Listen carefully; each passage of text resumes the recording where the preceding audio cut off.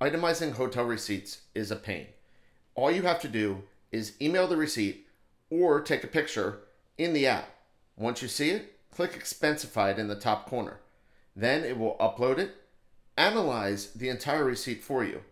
You may have to pull down to refresh a couple times. Once it's there, you will automatically see the receipt with a new price beside it. When you click on the expense, you can then move it to a new report, whether it's an existing one or you're creating a new one. Once you've moved it to a report, we're creating a new one here, you'll be able to then go in and see the itemizations already preset.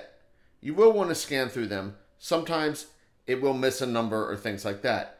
But Concur also notifies you if the overall amount doesn't match what you're itemizing. That's how you see itemizations in a hotel receipt automatically.